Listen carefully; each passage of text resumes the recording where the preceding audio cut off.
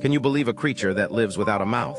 Deep down in the pitch-black abyss, towering tube worms stretch up to eight feet, yet they have no mouths, no stomachs, no way to eat.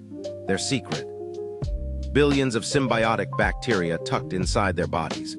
These microbes feast on hydrogen sulfide, a toxic gas spewing from hydrothermal vents, and transform it into organic nutrients, essentially turning the worm into a walking, breathing chemical plant. The worm supplies the bacteria with hydrogen sulfide and oxygen. The bacteria churn out sugars, and the worm grows faster than any other animal on Earth. It's a perfect partnership. The worm gets food, the bacteria get a safe home, and the vent ecosystem thrives without sunlight. A living factory, powered by the planet's own geothermal furnace, proving life can invent the most outrageous workarounds. Which part of this symbiotic miracle blew your mind? Follow for more jaw-dropping science.